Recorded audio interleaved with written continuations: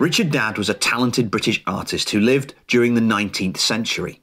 He's known for his highly detailed and imaginative paintings that depicted mythological and fairy tale scenes.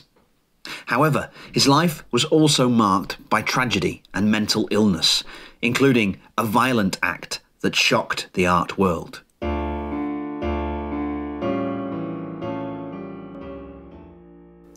Dadd was born in 1817 in Chatham, Kent, England. He showed an early talent for drawing and painting, and at the age of 20, he entered the Royal Academy of Arts in London. During his time there, he developed a unique style featuring intricate depictions of nature and imaginary creatures. However, despite his artistic success, Dadd's personal life was troubled. In 1842, he was employed by a wealthy traveller, Sir Thomas Phillips, to accompany him on a trip to the Holy Lands and to make drawings and watercolours for his patrons' use. It was in the latter stages of this trip that Dadd displayed the first signs of erratic and aggressive behaviour.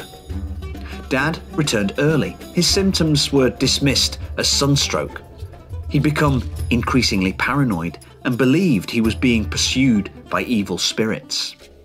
He began to hear voices and see visions and became convinced that the Egyptian god Osiris was directing him to eliminate the devil's influence.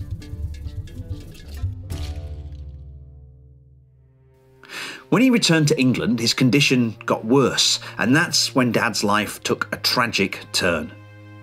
One evening, Dadd and his father Robert took a stroll through the park surrounding Cobham Hall in Kent. When they reached a circle of elm trees, the 26 year old painter suddenly attacked his father, punching him in the head and slashing his neck with a razor, finally stabbing him in the chest with a 5 inch rigger's knife until he was dead. Dadd hid the body and fled to Dover, where he boarded a boat for France. Travelling south from Paris by coach, he then attacked a fellow passenger, inflicting deep razor wounds before he was overpowered and taken into custody. When interviewed, Dadd said that he had been acting under the instructions of the Egyptian sun god Osiris and that he was the son and envoy of God sent to exterminate the men most possessed with the demon. On his return to England, Amid huge press interest, he was declared a criminal lunatic and committed to the hospital of St Mary of Bethlehem, better known as Bethlem, or more pejoratively, Bedlam. Dadd remained there until 1864 when he was transferred to Broadmoor, and there he spent the rest of his life, dying in 1886. One of his most famous works is the Fairy Feller's Masterstroke, which depicts a fantasy scene of a fairy preparing to strike a hazelnut with an axe. Dadd painted it while incarcerated in the lunatic asylum of Bethlem Royal Hospital.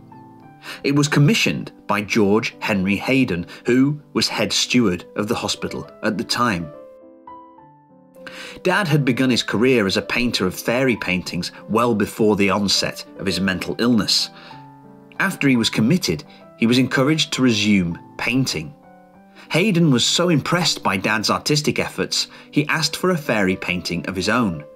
Dadd worked on the painting for nine years, paying microscopic attention to detail and using a layering technique to produce beautiful results.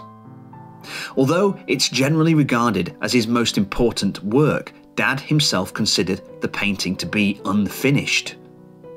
And in order to give context to his work, Dadd subsequently wrote a long poem in which each of the characters appearing in the picture is given a name and a purpose. It includes references to Old English folklore and Shakespeare. The poem was an apparent attempt to show that the painting's unique composition was not just merely a product of random, wild inspiration. The painting had several owners, including collector Alfred Morrison and Siegfried Sassoon, who eventually passed it to the Tate, where it now resides. Despite tragedy, Dadd's artistic legacy lives on. His paintings continue to be admired for their intricate detail and marvellous imagery, and he's quite rightly remembered as one of the most talented and original artists of the Victorian era.